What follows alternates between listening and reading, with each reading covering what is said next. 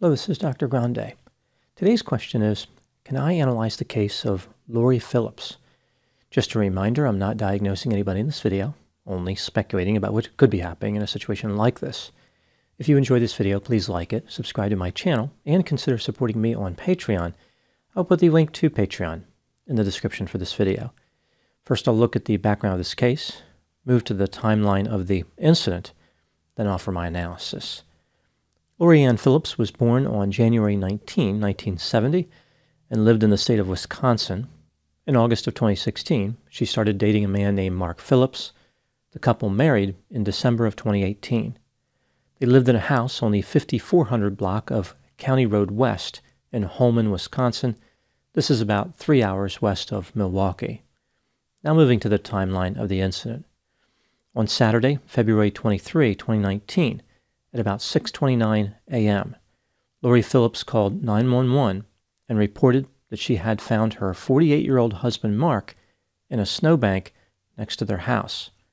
When the first officer arrived on the scene, he pulled into the driveway and noticed that Lori was kneeling over Mark's body, which was lying face down on the east side of the driveway. There was a pair of wraparound style sunglasses in the driveway about 15 feet south of where Mark was located. Footprints could be seen in the snow. It was later learned that the footprints belonged to Lori. The footprints indicated that she had walked from the house west toward the corner of the garage, then south to Mark's location. She then appeared to return to the house before once again walking to Mark's location. There were no other footprints and there were no tire tracks. The police officer checked on Mark. He was extremely cold to the touch, and his fingers were blue. Mark had what appeared to be blood coming from his nostrils. It was clear that Mark was dead. Here's what the police found during their investigation. Lori made a number of statements to the police. Some of them were of a rambling nature consistent with intense emotions. Here is a summary of what Lori communicated to various police officers. On the night before, which was Friday, February 22, 2019, Lori and Mark went to dinner at a bar and grill with two friends at 4:15 p.m. They were in Lori's 2019 Dodge Ram pickup truck. After dinner, they went to a place called the Dive Bar. My understanding is that the Dive Bar is actually the name of the bar. It may or may not actually be a dive bar. Regardless of the quality of the bar, alcohol was consumed during this night out. At one point, when Lori and Mark briefly went to another bar, Mark became jealous. He came to believe that another man had come to the bar to see Lori. When they were back at the dive bar, Mark physically attacked Lori in her Dodge Ram by placing her in a chokehold. After a while, Mark seemed to calm down, but then on their way home, he resumed talking about the other man and became angry again. The couple argued all the way home. They arrived at about 11 p.m. Lori told Mark that she was going to leave in her Dodge pickup truck and stay at a hotel for the night. Lori did not enter the house. She remained in the truck. Mark indicated that he wanted to retrieve some of his belongings from the pickup truck prior to Lori's departure. He went to the passenger side of the vehicle and then walked around the front of the truck toward the driver's side door. Mark had an angry look in his eyes, and Lori was fearful. At this moment, Lori suddenly drove away from the residence with the passenger side door still open. When she turned right onto the road at the end of the driveway, this caused the door to close. Lori drove for about two blocks and stopped. She wanted to make sure that Mark was not following her. Lori then drove to a hotel and unsuccessfully attempted to get a room. She went to another hotel but she had booked the room for the wrong night. Lori parked behind a supermarket and slept in her pickup truck. She returned to her residence sometime around 1:30 to 2 a.m., now on Saturday, February 23. On her way home, she deactivated the security system so Mark would not be awakened when her arrival tripped the motion sensors. Lori pulled into the driveway, exited her truck, and entered the house. She noticed that a pair of Mark's shoes were by the door and assumed that he was sleeping in the master bedroom. She thought it was unusual that the door was unlocked and there was a light on. After sleeping on the couch for a little while, she became uncomfortable and decided to sleep in an upstairs bedroom. not the master bedroom where she believed Mark was. Lori woke up at about 6 a.m. and walked into the master bedroom. She was expecting to receive an apology from Mark, but her apology would never arrive. Mark was not there. Lori walked outside toward the garage to see if Mark's vehicle was there.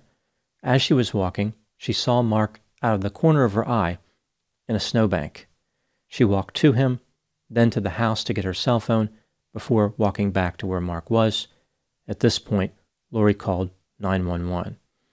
An autopsy was performed on Mark's body. He died from multiple blunt force injuries consistent with being run over by a motor vehicle. The police examined Lori's Dodge Ram and found fibers matching Mark's jeans. The police were able to retrieve video surveillance, which confirmed that Lori and Mark were together at the dive bar from about 5:30 p.m. to about 10 p.m. There was also video of Lori arriving at the supermarket at 11:56 p.m. on February 22 and leaving at 1:42 a.m. on February 23. The video matched the story that Lori had supplied to the police. Through the course of the investigation, the police came to believe that Lori ran Mark over with her pickup truck and left him to die. In June of 2020, Lori was charged with second degree reckless homicide. On November 6, 2023, her trial started. On November 10, Lori Phillips was found not guilty. Now, moving to my analysis. Lori Phillips was acquitted. She can never be tried again in connection with the death of her husband, Mark. Many people believe that Lori was not guilty in reality, and the jury came back with the correct verdict. The state, of course, probably feels differently, considering how they took the case to trial. This brings me to the question Was Lori guilty of reckless homicide in reality? Let's take a look at the evidence both for and against the idea that Lori was guilty, starting with the inculpatory factors. Lori repeatedly suggested that she did not strike and kill Mark with her vehicle but this is impossible to believe. Mark's injuries were consistent with being run over by a motor vehicle, and fibers matching his jeans were found under Lori's Dodge Ram. Even if there was a non fatal explanation for how the fibers ended up there, only a vehicle in Mark's driveway could have struck him. The location of Mark's body was inconsistent with the idea that he was struck on the main road. His body could not have traveled that far. In the movies, people are struck by vehicles and they fly thousands of feet, but it doesn't work that way in reality. Lori armed the camera system at 11:08 p.m. She did not disengage it until just before she arrived home a few hours later. No other vehicle was detected in the driveway during that time. The only window of time when another vehicle could have been in the driveway was from when Lori disarmed the system until she arrived home. But this gap was only a few minutes. Given the likelihood that Lori's Dodge Ram was the vehicle that killed Mark, Lori must have known that she struck him. A person operating a pickup truck would definitely notice running over a man. Not only would there be a loud sound, but vibration could be felt through the steering wheel and the seat. Not long before Mark's death, he had been violent. It sounds as though this was the most severe episode of violence in the history of the couple's relationship. Lori may have been angry at Mark this gave Lori a motive to strike Mark with her vehicle. After Lori drove away from her house, she checked the camera system a few times from her phone. This makes it seem as though she was checking to see if Mark was dead. She sent odd text messages when she was away, as if she was trying to create a record of her activity. If Lori was truly afraid of Mark to such an extent that she drove away from her house suddenly, why did she return just a few hours later? Upon her return, how did Lori fail to see Mark's body lying in the snowbank? Lori may have been intoxicated because she had been out drinking. If this contributed to her running Mark over, it is not a defense. Moving to the exculpatory factors, Mark had a history of heavy drinking and harmful behavior toward Lori. This included violence. During one incident, he broke through a door after Lori locked him out. When Lori and Mark were out drinking, a bartender had to intervene because of the way Mark was speaking to Lori. Another friend was concerned for Lori's safety. According to Lori, Mark placed her in a chokehold when they were in her pickup truck at the dive bar. It sounds as though Mark had never been as violent as he was on the night he died. His behavior was a drastic departure from even his most violent prior actions. This could have left Lori stunned and disoriented. Maybe she had difficulty thinking clearly due to Mark's behavior and therefore did not realize she ran him over. After Lori departed from the house, she used her phone to search terms including hotels near me and physical abuse, although this could also be interpreted as Lori trying to set up her story. Lori may have been checking the cameras from her phone because she was afraid of Mark. She wanted to know what he was doing. As far as the plausibility of the narrative that Lori did not feel the truck running over Mark, the truck that Lori was driving was new. Maybe she wasn't used to how it felt when driving. It is also possible that Lori realized that she struck Mark, but she didn't think he was dead. Almost as if he kind of bounced off of the side of the truck, Lori didn't think that she actually ran him over.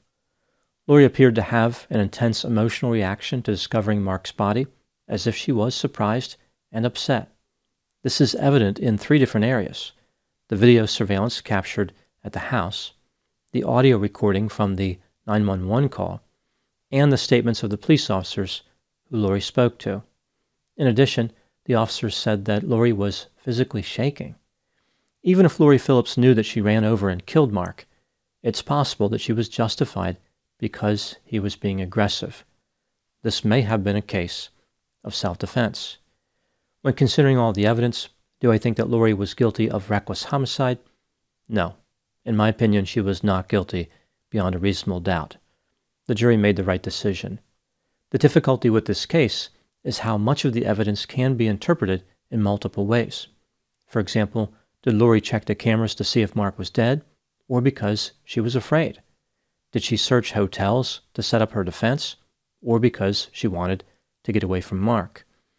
I believe that Lori did run over and kill Mark, but it could have been unintentional or done in self defense.